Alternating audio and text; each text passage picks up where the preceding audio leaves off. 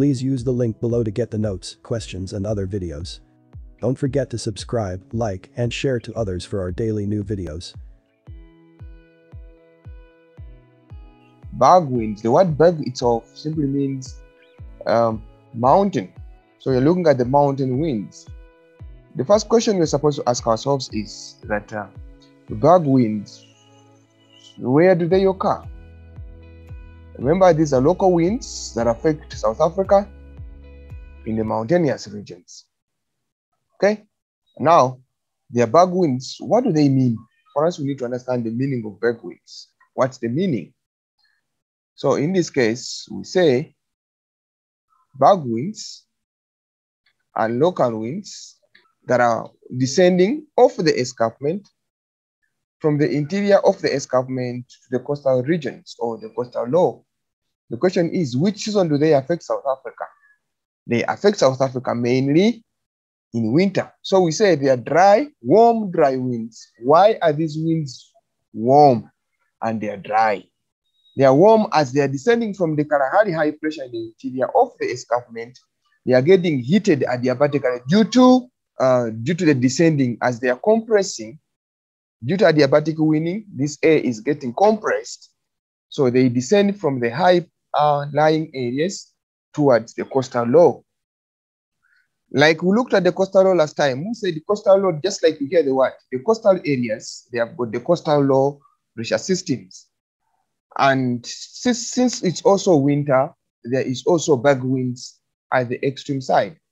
So we have the low, two low pressure systems that are affecting South Africa, which creates pressure difference, okay?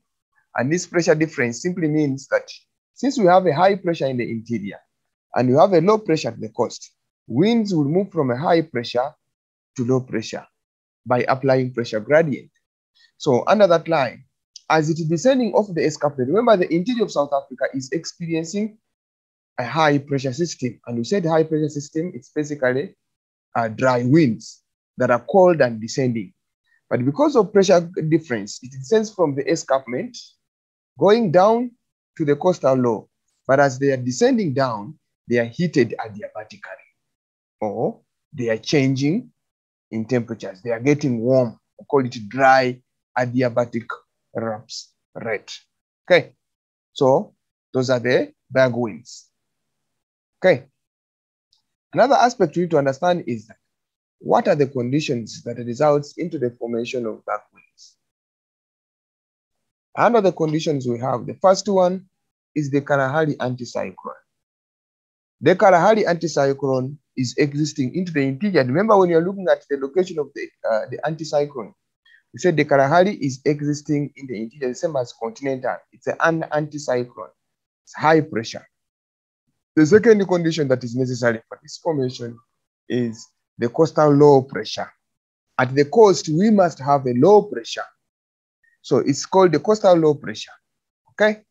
Second co condition is that the steep pressure gradient.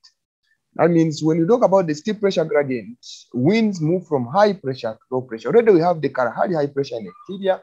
We have the coastal low at the coast. So there is a there are two pressure systems of different um, uh, composition. So the high pressure, which is cold and dry, the coastal low, it's a low pressure.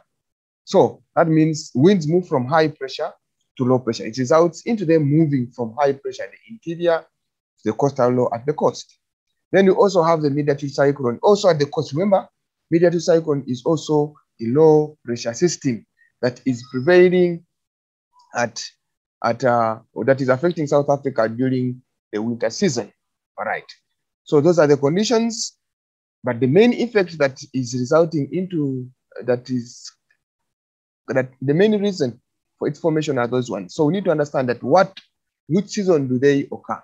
They occur mainly in winter, and their main effect is wildfire. These are natural fires that are affecting South Africa during the winter season. Okay, so we need to understand another concept, which is the impact, the impact of uh, the, this mid-latitude cyclone. We have just seen that mid-latitude cyclone cause fires. Okay, so what is the impact of fires? Fires destroy the farming equipment, and um, the grazing land. So we see that uh, because of the fire that is started, but also we should ask a question that how do these fires start? The fires start because of the fact that the winds that are descending from the escarpment are dry. Okay, they are dry.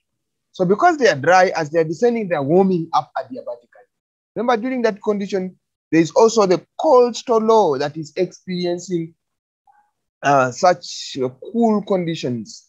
Okay, so because the coastal low has also got a low pressure, but there is also the descending dry winds from the, um, the interior of South Africa. So because they are dry and they are warming up, they start to build fire because of friction, especially it's not naturally started by human. So those fires will destroy the farms, the fires will destroy the grazing lands, the crops that are being planted by farmers will also be destroyed in the same line because of fires. The infrastructures themselves are going to be destroyed. If all this happens, how can we control, how can we prevent? Those are the precautionary measures that we can use to ensure that at least we stop these high level fires. Number one, educate people about the danger of the fires, such that when you educate them, they can prepare what to do. And in that case, you will stop the damage that would have caused or that would have been caused by, by the fire. So people need to be educated. Number two is that this fire department moving closer to the areas that have got dangers of fires, so that if the fire starts, they can easily stop it okay, by maybe using um, the firefighters or by watering the areas around so that you make them wet. Number three is that look out posts uh, for fires on farms. You can build up uh, those uh, towers whereby you can monitor the fire, the intensity of the fire, so that you get to know which area is likely to be affected, and we stop it prior to its exist to its uh, great damage. Another thing is that um, uh, fire breaks, fire breaks to limit the destruction of fires. When we talk about fire breaks, we are referring to the aspects like um, you plant crops and you leave space or water points. Those are fire breaks. So when you put water points, it is one way or the other stopping the spreading of fires to new areas or to other areas. In that case, it will help to stop the fires. Therefore, we must know that berg winds do not last for so long. Berg winds can only last up to around about three days. And this, in this situation, you are going to experience, I think, those uh, about around the coastal regions of Cape Town and um, other regions of the east, uh, east south of east South Africa. You find out that this situation happens. It is winter. You expect conditions to be very cold, and within a period of two to three days or a day, the condition, the temperatures go above 30 degrees at the coastal region. This is because of the veld fires. And another thing that you must understand that mega winds at times can easily be terminated by the arrival of the mid-latitude cyclone.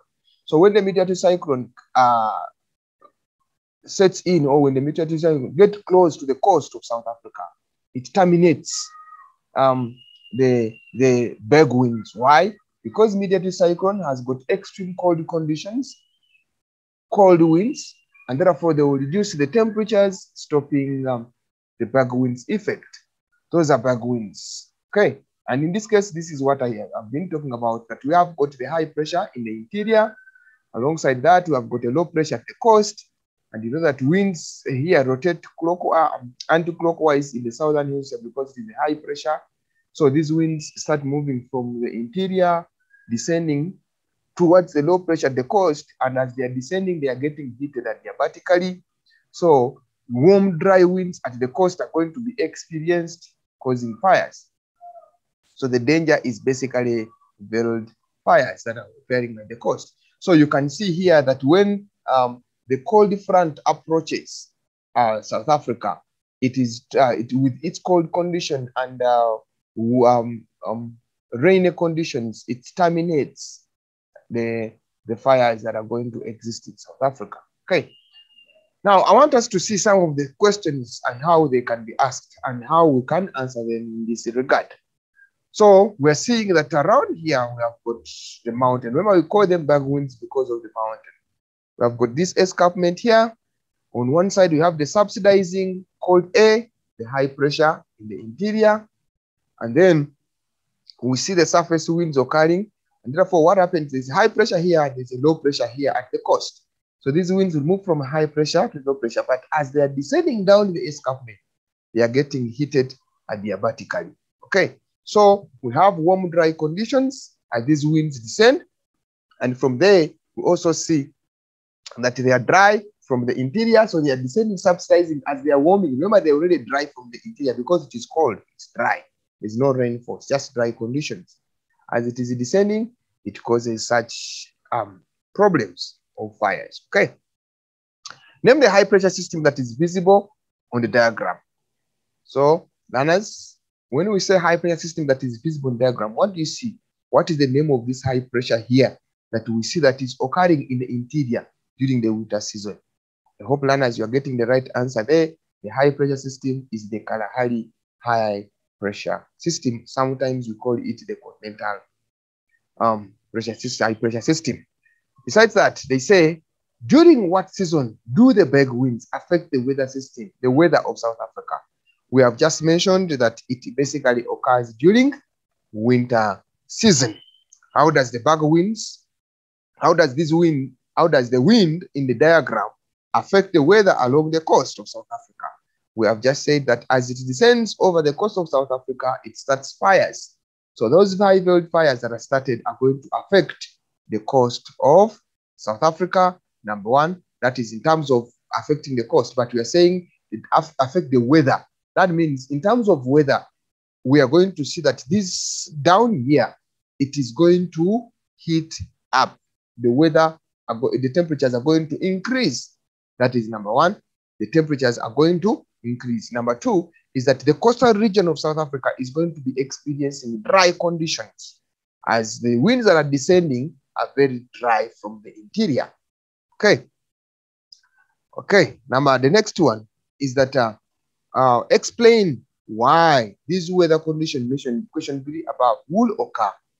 They will occur because of number one, the winds that are descending from the interior towards the coastal low are already dry because the interior is experiencing subsidizing cold, uh, cold conditions, subsidizing cold winds.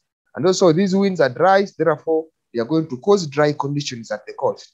Number two is because these winds, as they descend off the escarpment, they are warming up, they become warmer. As they are warming up in what we call the dry adiabatic rupture rate, as they are warming up in the dry adiabatic rate, it's going to increase the temperatures, causing warmer conditions at the coast. Okay, and it will start the fires at the coast. All right, then the next question five is name the environmental hazard um, that is likely or that is associated with the big winds. Okay, the environmental hazard that is associated with the big winds at the those are the uh, the fires that we talked about, the veld fires that are started at the coast. How long do bagger winds? Um, how are the bagger winds terminated? Bagger winds are terminated whereby uh, oh the, when the mid-latitude cyclone reaches the interior or the coast. That is how the berg winds will be terminated. So basically, those are berg winds. Okay, hope we are together, guys. If, if there is any question, please don't hesitate sending your